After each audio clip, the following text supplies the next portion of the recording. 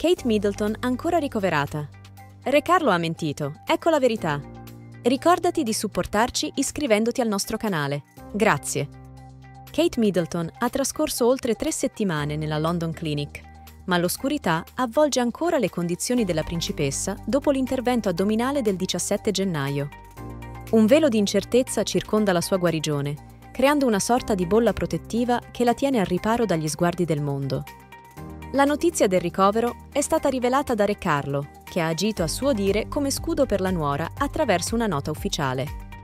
Tuttavia, la cura per i problemi alla prostata di Carlo aggiunge un'ulteriore dimensione di preoccupazione per i fan della principessa del Galles. Una strategia di comunicazione che, anziché tranquillizzare, sembra allertare gli esperti reali. La tempistica dell'annuncio dell'intervento di Kate e la comunicazione sulle cure di Carlo hanno sollevato molte domande.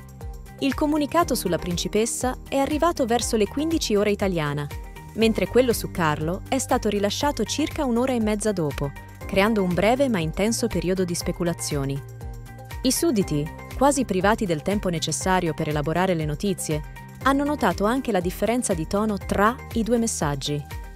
Mentre Kate chiede privacy sulle ragioni dell'operazione, alimentando sospetti, Carlo infrange la tradizione della riservatezza sulla salute dei sovrani parlando apertamente del suo problema di prostata. Ma sarà solo un diversivo?